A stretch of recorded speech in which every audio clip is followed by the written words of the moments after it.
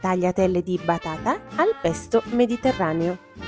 Un piatto raw, vegan e gluten free che grazie a questo ortaggio ricco di antiossidanti ha moltissime componenti nutritive. Prendiamo due batate e sbucciamole con uno sbucciapatate. Con lo stesso strumento creiamo delle tagliatelle e lasciamole cadere in una ciotola.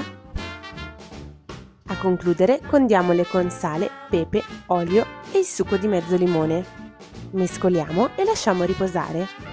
Per il pesto trittiamo 100 g di noci, 100 di pomodori secchi, 20 di capperi e 20 di olive taggiasche. Aggiungiamo poi 250 g di fagioli cannellini lessati, olio, un cucchiaio di salsa di soia senza glutine, un cucchiaio di tahin, un po' di zenzero e frullando, ecco qua, il nostro velocissimo e gustosissimo pesto, il cui eccesso potrà essere gustato come hummus mediterraneo tagliatelle, pesto e in aggiunta semi di zucca e paprika dolce.